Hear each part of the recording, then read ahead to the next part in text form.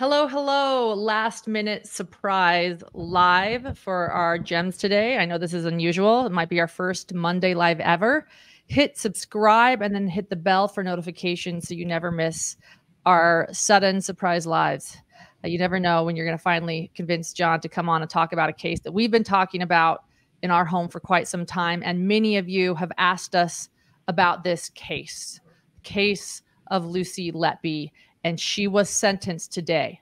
For those of you that know about this case, you know, but for those that are new to this case, Lucy Letby was just sentenced today in the UK for life in prison without the possibility of parole. This is the, they do not have the death penalty over there. This is the strongest sentence one can receive.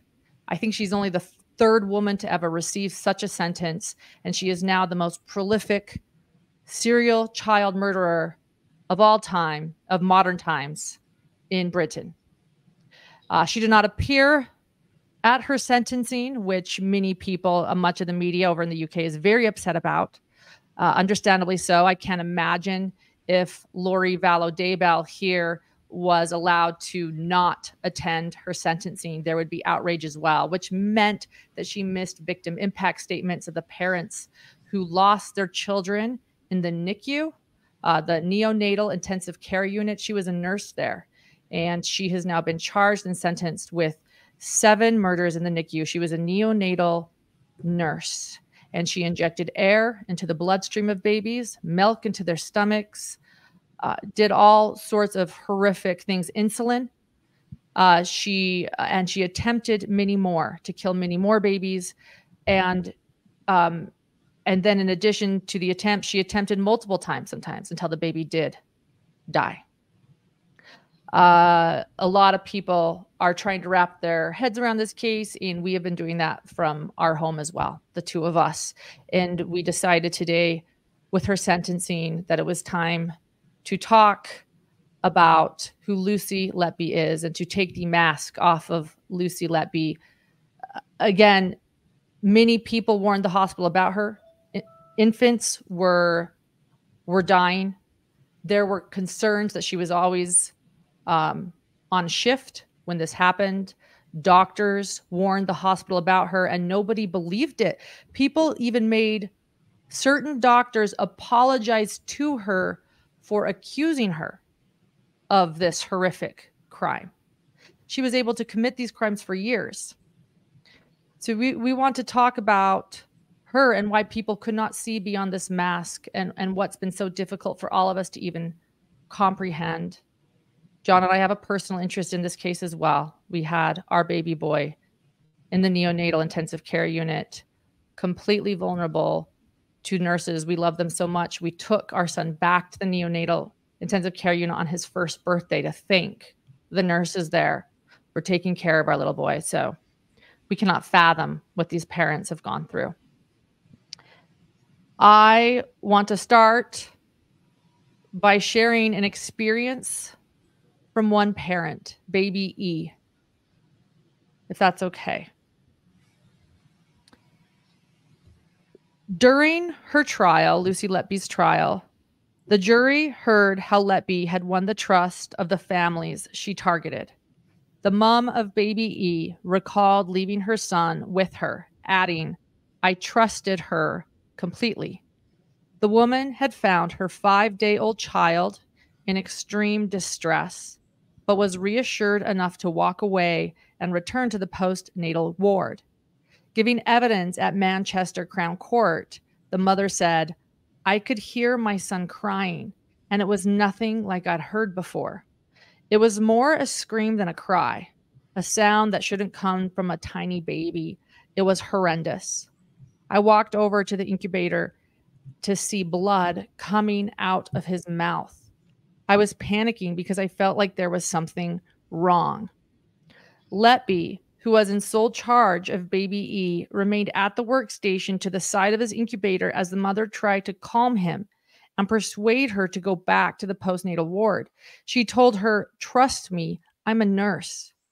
Asked by Nick Johnson, KC prosecuting, why she did as Letby had told her, the mom replied, Because she was in authority and she knew better than me. I trusted her completely. The rules were go back upstairs and if there's a problem, I'll call you. That was Lucy Letby. I followed the rules. Mr. Johnson, KC, said that the baby's mom had interrupted Letby as she was attacking the child. She did not realize it at the time, and after murdering the newborn, Letby had then asked the mother whether she would like to bathe him. Letby, who was in sole charge of baby E, remained at a workstation to the side of his incubator as the mother tried to calm him and persuade her to go back to the postnatal ward. She told her, Trust me, I'm a nurse. Asked by Nick Johnson. Oh, and I already read that. After murdering the newborn, again, she asked the mother whether she'd like to bathe him. And after the mother said, I was just too broken, I couldn't, Lucy Letby bathed the murdered newborn in front of the mother.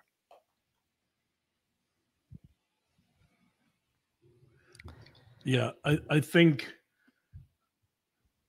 that testimony and that story is a good place to jump into this case because it, it it reveals so much about what's going on. First of all, the the thing that really struck me when you you read that to me initially was the screaming. So you and I both had a child in the NICU, and I think you and I both had to start making distinctions between pain, which would be more screaming, and crying, which would be more related to, say, hunger, right? And so it's interesting here. This child has blood coming out of its mouth. This child is is the parent recognizes that this is unusual. This is screaming. This is pain. This is a child that is about to be killed, right? And, and the parent knows that, senses that, intuits it. And you have the nurse essentially saying, don't worry about it, even though the parent knows everything is wrong with this situation. The nurse says, don't worry about it, trust me, just leave, right? And so there's a couple components of that story, I think, that really start making sense of Lucy Letby. The first is that this issue of trust, that when we put a child in the NICU or when we put a, a, parent, for example, recently my mother, who's elderly now, was in the hospital, we just anticipate that there's a fundamental level of trust going on and that people will care for people that they're that are entrusted to their care. And so you you have with Lucy Letby, you have a real fundamental violation of that social contract of trust that in many ways our society is built upon that social contract that there's certain agreements we all have that if we don't honor them just because we don't feel like it we're really kind of undermining the social contract which is based on trust. So you know when i when i heard that story i thought of ted bundy. And and the reason i thought of ted bundy who's obviously the one of the most notorious serial killers of all time is because ted bundy would lure his victims in oftentimes by wearing a, a cast that wasn't real right? That he was Ted Bundy was playing on this social contract, this need for this fundamental need for people to feel that the world is trustworthy and safe. And he would wear this cast and say, I'm hurt. Can you help me? And then his victims would come with them and he would murder them. And Ted Bundy was never hurt. The cast was just a prop. And I, I think here you have, in this particular case at least, and probably in many others, with parents that Lucy Letby is getting to trust her, she's violating obviously that fundamental trust. So that that's part of it is that she's developed this trust in this unit with nurses, doctors, colleagues, parents, everyone. And she's using that trust against these people.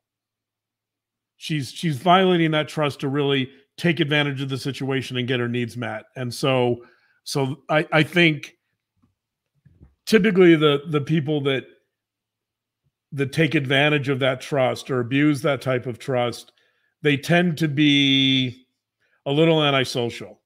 I don't know how far I want to go with that, but I, you know, I mean, we could take that all the way to psychopathic. I, I'm sure there's people that are out there that have probably diagnosed her or considered her to be a psychopath. And certainly when you're capable of murdering so many children, I mean, we're not talking, I mean, it, it's just it's unthinkable, right? And so, what kind of a human being is capable of that? So, so I think this issue of trust speaks to this potentially this deeper issue of someone who's who's deeply antisocial, and And you wouldn't gather that from looking at her life and from looking No. at her her her relationships, right? And so so that's a part of this story, I think, is that you're not what you see here is not what you're getting. That there's a lot more going on below the surface. And so this this violation of trust, this this willingness to have a mother see her child bleeding, and we're talking about like probably what a month, one month old, two month old child, like the most vulnerable child you could ever imagine is bleeding from their mouth. The mother knows something's amiss.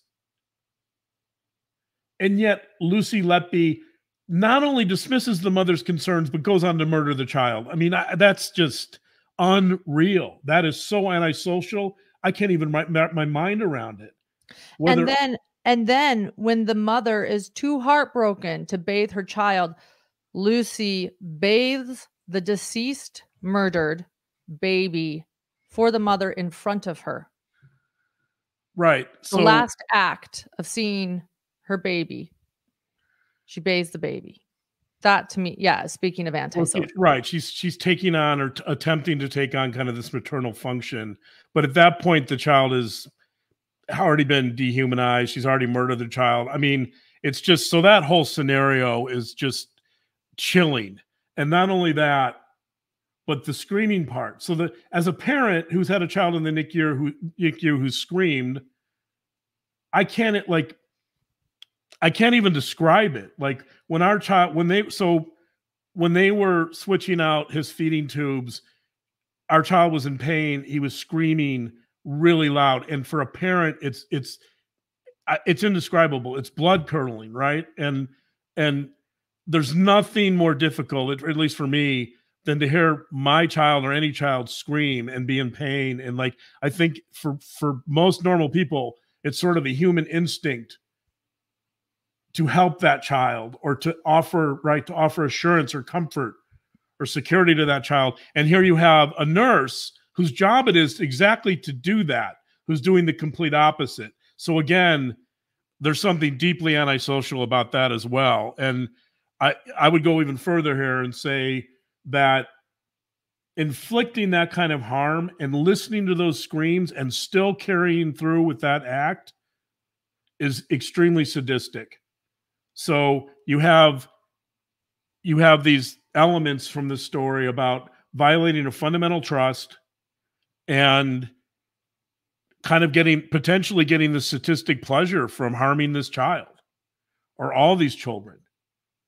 So both of those are deeply antisocial acts. And uh, again i don't i don't know her well enough. You know i'm not the i'm not the psychologist that would have assessed her so I don't know what people's diagnoses are. I'm going to stay away from that, but I'm just going to observe her behavior here and say that that those particular behaviors are off the charts antisocial. They show a lack of compassion, a lack of empathy, right? They show a lack of emotion, um, Manipulation.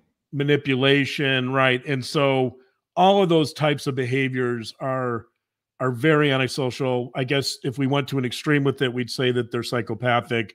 Uh, I don't know if they are, but it, you could. I think you could definitely move in that direction with looking at that type of behavior. It's it's so outside the realm of any normal human response to that predicament that you. It's even. It's just. I mean, I you know I, I understand completely understand why people all over the world are just absolutely incensed by this case because it's such an outlier like even for serial killers this is an this is an outlier beyond what's imaginable She was in her 20s when this took place. She is 33 years old now. But these crimes happened in 2015, 2016 that are known that the crimes she is charged with. She was busted. CC asked earlier, she just just started following this how when uh, investigators, police decided an investigation was needed into the multiple deaths in one hospital, the high mortality rate of the neonatal intensive care unit. And as one detective said, he never imagined that the police would actually even uncover something so sinister. They were not expecting that. They thought this might be something related to medical issues or staffing or better or care. equipment, right? It could medical be maybe equipment. something the, right. Uh, who knows? Nobody. But, yeah. So, despite her being on shift every time an infant like this died, uh, when doctors brought up concerns, in the end, there's one doctor that expressed in, in an article today that he was forced or he was told he needed to apologize to Lucy Letby for even considering that she might be an issue. She does not come across if you see her I I would personally describe her looks as something of a nurse. She looks like the girl next door to me. These are opinions of mine. She looks sweet. Um, pictures of her bedroom have appeared online uh, where she has a dream is a wish your heart makes, uh, you know, sparkle like a diamond. I would call them really kind of cheesy, um, childlike quotes on her wall, something you might see in a child's room. A dream is a wish your heart makes. That's from Cinderella. I had that song memorized when I was seven. Um, I don't sing it now. I've grown up. Um, it's still pretty, but uh, it's not something I'd ever hang in my room. She had a butterfly comforter. You know, so so there's one friend Dawn, that's what I want to say. One of her childhood friends Dawn said, "I will not believe she did this until she confesses to me personally." Because there's just the the the Lucy Letby I know growing up is the kindest person. Think of the kindest person you would know in high school. And that's her. She was an only child. Her parents supported her all through this trial. They were there every day, even except until today, the sentencing and the verdict. They've decided to stand by their daughter and not appear, uh, showing their solidarity with her. So I'm just trying to give a little bit of a background of, of what we know about her. When they searched her house, they found two books, I think, that are both important, but one is, I just forgot something greener. It's it's about a woman wanting to have an affair with a married man. We're going to get to that. Put a pin in that. And little notes on post-it notes, post-it note notes that the prosecution uh, has brought up as a confession. They say it's a confession. The defense says no. These were just journal entries of self-loathing and self-hatred. The prosecution says that they're her confession do you want me do you want me to read those john or do you want where do you want to go from here yeah i think you could you could read some of them i think when somebody says in a note i mean she doesn't when somebody says in a note i i did it you know it's it's it seems like a confession of course i don't think she said specifically what she did so i guess there's a little bit of ambiguity but yeah why don't you read a, a bit of the notes or some of the notes let me read a few of the notes here because the notes are important in explaining who she is. And then I'll, I'll share a picture of one as well. Um,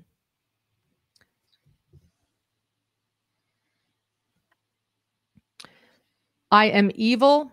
I did this. That that was the main one they brought up. The prosecution brought up. I am evil. I did this. Other words she wrote. There are no words. I am an awful person. I pay every day for that. I can't breathe. I can't focus. Kill myself right now overwhelming fear and panic. I will never have children or marry. I will never know what it's like to have a family. No hope. The post it notes also displayed confusion about her responsibility for the murders. She scribbled, I haven't done anything wrong. Police investigation, forget slander, discrimination, victimization, all getting too much, everything taking over my life. Hate myself so much for what this has. I feel very alone and very scared. What does the future hold? How can I get through it? How will things ever be like they used? And then in capitals hate, panic, fear, lost. I don't deserve to live. I did this. Why me? I killed them on purpose because I am not good enough for them. And I am a horrible, evil person. I do not deserve mom or dad. The world is better off without me. There you go. Right. So I think this this gets into one of the other major elements of her psychological portrait, which would be depression of some sort. I don't I don't know if her depression presumably it's fairly severe, but she is able to function at work. She is able to, you know, attend work regularly. So, uh, um, her depression doesn't seem to be so crippling that she can't function in her normal life. So, but, but I mean, a big component of depression is this type of self hatred, this type of low self worth, and obviously she's she's got a lot of that based on these notes. This is someone who clearly doesn't like herself very much. Um, she has the word you can see the word hate there, circled and in black, and kind of standing out in a note that isn't in itself very very negative and an example of the type of self-hatred she has but it, it does seem like there is this certainly seems like there's this element of depression here this element of self-hatred i think the the fact that she's putting hate she's really kind of emphasizing that i think that's really fascinating in the sense that i think this this potentially is someone who is taking that self-hatred and displacing it or projecting it onto these innocent kids. That she's taken those parts of herself that she really despises and hates.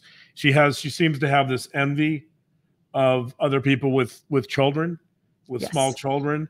So there seems to be this envy of the families probably she's working with every day in the NICU and, and that type of environment.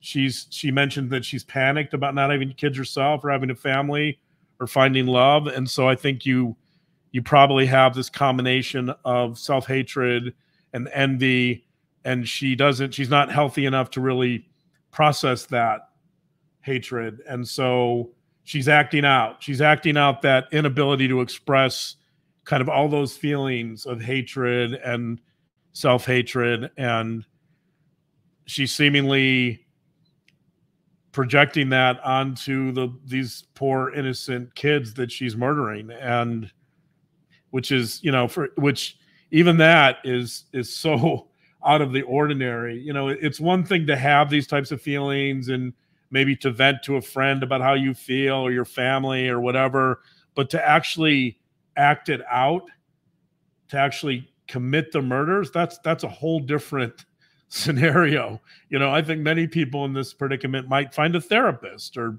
they would find someone to talk to about their depression or their feelings. But she But she doesn't. She just hangs up quotes in her room that says sparkle yeah. like a diamond. Shine right. bright like a diamond. Thank she you, Rihanna. Right. She yeah. doesn't Cinderella seem motivated. Quotes. Yes, Cinderella quotes, quotes, Rihanna quotes. Um, right. As if make... those... Go ahead as if those fantasies are going to somehow transport her to some fairyland or some false reality, right? But um, speaking of fairies, she had fairy lights uh, on okay. The metal frame of her bed. Yes, so fairies, fantasies, dreams. Um, uh, you know, she and you point out the self hatred. She literally said that I killed them on purpose because I'm not good enough for them. I am a horrible, evil person. So I think you nailed that with she's putting her hate onto them. Uh, I also thought it was interesting though that she said, "I will never get married or have children of my own." Um, you know, no hope. And again, she has the Cinderella quote on her bedroom wall so saying, "A dream is a wish your heart makes." This is right before you know Prince Charming rescues Cinderella. She has a Cinderella quote on her wall. And then she says, I'll never have children or a family of my own. So, and it's so I, there's another component to this that's important, and that is that it's not just the depression and the self hatred. Let's say you have depression, and then one manifestation of depression or one of the symptoms or maybe causes of depression would be the self hatred that she's showing. But there's there's also another interesting element to this in terms of the question so the question i just raised is why would someone like this act out in this manner right? Why would they act out in such a violent manner? And and it it seems like part of the answer to that question is that she was apparently smitten with this doctor at the hospital who was also a pediatrician and a married pediatrician. Immediate right. And and so it seems as if based on some of the evidence that she was trying to get his attention she may have even wanted to potentially harm these children to a point where he would step in and assist her right? So she had this whole fantasy about this relationship. She did appear to have this relationship. She denies it but they spent a lot of time together. They wrote texts to each other they wrote to each other a lot they communicate so it does they, there was clearly some type of relationship and you know as i told you earlier um there to me, this is kind of a version of Munchausen's by proxy, um, which that I don't, which I don't even know. Uh, and so let me the Munchausen's is the old term. The new term is factitious disorder imposed upon another. Let me just clarify that because I know mental health professionals will say, "Hey, hey, Dr. John, you got that wrong. It's there is no Munchausen's anymore." That's true, but Munchausen's is such a cool term. I, I like, I love that term Munchausen. So, but um, it has literary ramifications. So, but there is this element of, I think, tech. Well, technically, she's not the parent, or she's not entrusted with the long-term care of these little ones in the NICU. She is, in in some sense, a temporary guardian, right? She's responsible for their well-being when they're in there, and it's her job to oversee their health and well-being. And so, I think you you you could very much argue that you have some versions of some version of factitious disorder imposed upon another here in the sense that she is seeking attention from someone she's yes. she is injuring these children for the purpose of potentially a relationship or to get the the, the attention of a doctor right? And so so there is there isn't just this depression but there's this relational component to the depression that she the depression is a big part of this in the sense that i think that someone without that type of depression would be much less likely to act out in this manner. But when she decides to act out like this there does appear to be a reason. She wants this relationship. She's has as you pointed out from her note she has this fantasy about you know love being a panacea which by the way has similarities to like lori vallow daybell. I'm seeing lori here this this unearthly love a love like nothing she has ever experienced on earth. She explains it. Lori does. And right and lori also same thing we, speculated that lori engaged in factitious disorder imposed upon another as well right. Correct. So and and that Lori probably has some version, some I don't know to what depth, but Lori has some depression as well. So I think you're seeing kind of the, the these similar elements here playing out, and um, you know, so potentially I could argue that without this love interest or this doctor in the picture, maybe it just stays as significant depression. Maybe not. I don't know. Um, maybe she finds another way to act it out. I, you know, but um acting out in the way she did is again it's such an outlier and it's so extreme and unimaginable that it's it's just hard to to put together even if you're interested in a relationship with a pediatrician who could potentially intervene in these cases like to go to the lengths that she did again like just unthinkable so in other words she liked this doctor she liked attention from this married pediatrician Thus, when one of the infants under her care died, she was able to reach out to him and he gave her comfort just as if she was the mother of the baby. Because here they are in this hospital together. She is caring, she's childless, but caring for this baby. So when something happens to this baby, when the baby under her care gets sick, woe is me. I need attention from the doctor. I need this this love and so she's getting that from the doctor through these text messages and he comes down to visit her he comes down to visit her he gives her attention he comforts her praises her she's it is very similar to to but I, I think it goes it goes beyond that too that's part of it but it goes beyond that in the sense that she's asking him for help and she's saying how could i what what can we do here to help these kids? Right? She's she's furthering his involvement. When these when these murders are occurring i mean you know obviously he didn't know that at the time but when these children are dying i think she's able to to use that to extend the relationship with him and to try to deepen it in the sense that she's looking at him as an ally. She's looking at him as someone who can help diagnose and someone who can provide not just emotional comfort, but intellectual support. That there's a bit of a mystery here, right? And he wants to bring him in on the mystery and he wants to she wants to bring him along for the ride in solving this mystery and therefore she's drawing out the relationship So it's it's that combination. I think yes, she's looking for his emotional support, but she's also kind of looking for some way to extend or or deepen that relationship. And this, you know, he's a pediatrician. I'm, you know, he works at the hospital. Of course, he's going to have an interest in all these mysterious child deaths, and she, she has to know that. She also tried to get attention from the parents when when the babies died. She created a memory box for one of the families where she put the locks of the hair of the baby and footprints and handprints and sympathy cards. She wrote sympathy cards to parents. So she was also, I want to ask you about that in addition to what it seems like she's trying to get attention from the parents in doing that. They have her online information where she was looking up grieving parents, the parents of the newborns she killed, she would quickly find them on Facebook and she would go and visit their Facebook pages a lot and see what they're up to and and it seems watch them grieve, watch their heartbreak. Right. I mean, again, I think you have you have a Munchausen's component here potentially where she's trying to get sympathy from the parents or trying to be seen as the the caregiver who gave her all to save the kids. Obviously, she didn't, but that's the perception she's trying to create and also you you have a little bit of the Rex Heuermann situation here where you know Rex Heuermann calls with one of his victims. He gets a burner phone out and he calls the 15-year-old sister of one of the victims and he taunts her.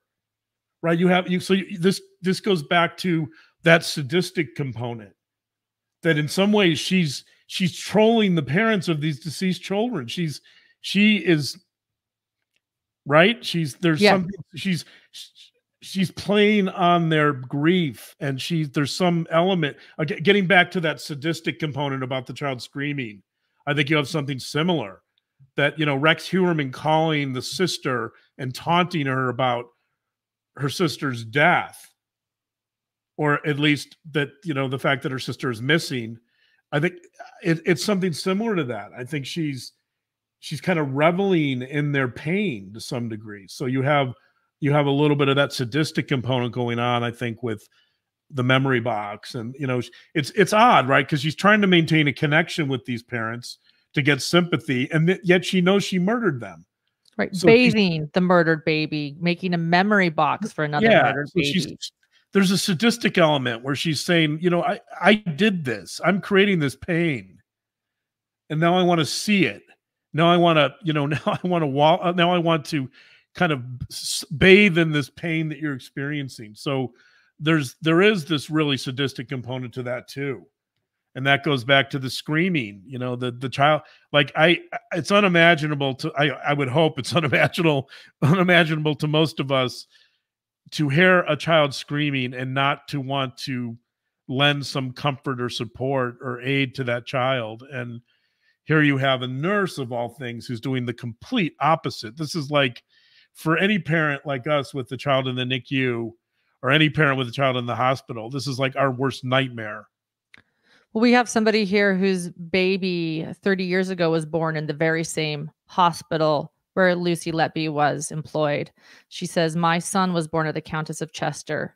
Although 30 years ago, I can't imagine the pain and distress the families are going through you know, I just think yeah. it's so hard for so many of us to even fathom. Um, Sleuthing Sandals is saying she tried to kill four over a two week period, succeeded with three. There was such a concentration of activity, for want of a better word, with the deaths. I was just going to bring this up too, and I, I, know we need to conclude, babe, but you know, yeah. one it was she went on vacation, had fun. She went to a hen party, and then she came back, and then and then just hours after she came back from that party with friends that's where the concentration would happen or, at least one of them where any thoughts of that or what might be have been going well, through?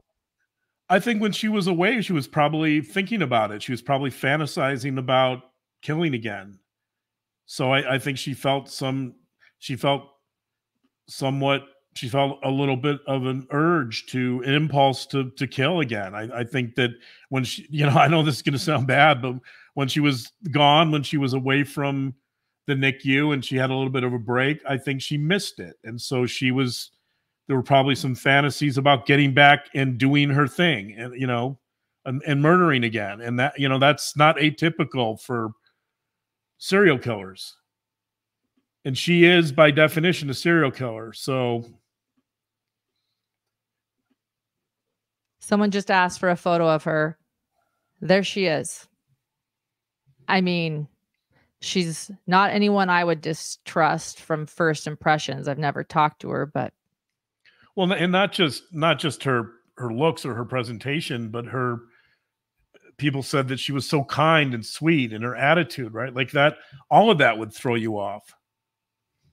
Right. Again, her her friend Dawn, I would have never I, I she says she still will not believe it until she confesses to her herself that she will believe she's innocent because they say think of the kindest girl in high school you knew, and I can actually think of one, right? Those just overly sweet girls.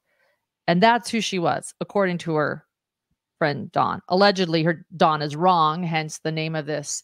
Let's unmask who she really is. But there she is, for those wondering.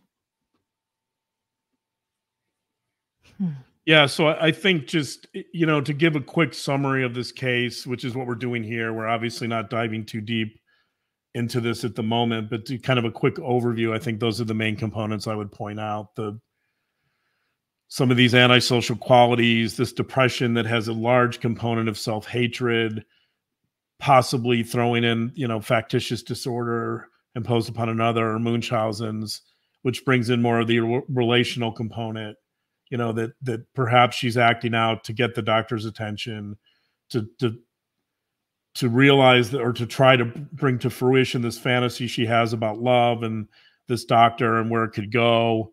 That seems to be to her some type of panacea uh, for all her depression and her shortcomings and her concerns. And so I, I think it's probably some combination of those those elements that I would I would go to at the moment. Thank you, babe. Um, I appreciate it. Thank you so much for helping all of us. You really helped me to process this. It was a heartbreaking one for me. And, and so thank you for sharing your knowledge with everyone. Um, for those that missed our live last night, um, I really recommend uh, watching it and hope that you do for the sake of the victims. It is an underreported, horrible crime, and the investigation is still ongoing. Um, so look for uh, who is Timothy Hazlitt was last night's live, and I hope all of you will watch it and share it. Thank you for being here for the surprise live. John, love your shirt. Love your shirt, oh, babe. Thank you. I want to. I just want to end with a quote here, um, if that's okay. This is this is a quote by A. A. Milne, who wrote the Winnie the Pooh series. He happens yeah. to be British, so I think it's totally pertinent to today's show, today's quick show live. Um, so I'm, I'm going to just read a section from Winnie. This is from Winnie the Pooh. Um, Piglet sidled up to Pooh from behind. Pooh, he whispered. Yes, Piglet? Nothing, said Piglet, taking Pooh's paw. I just wanted to be sure of you.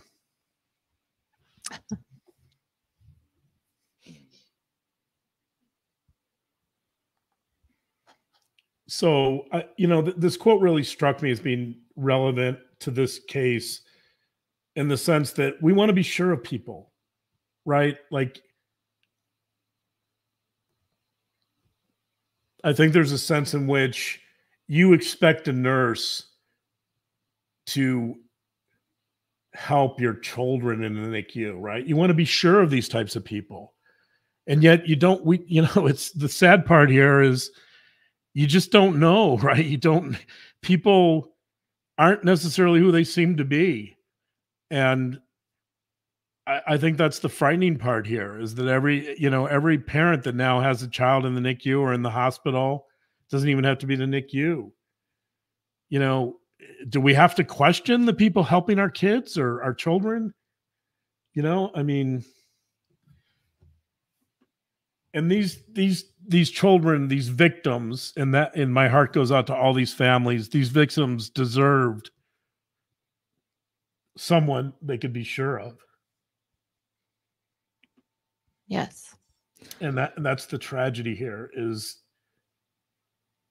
you know if we're piglet, we want Pooh's paw. And you know, this nurse is putting the out and then taking it away and it's just just it's heartbreaking. With that, let's go grab our piglet from school. yeah. Thank you everyone for being here. Um, yep. Thank you for those who asked us to cover this case and encouraged John to do so. Thank you so much. And um, we'll be bringing you more soon. Thanks, everyone. Thanks, guys. We'll see you. Good afternoon. All right. Good afternoon. Bye bye.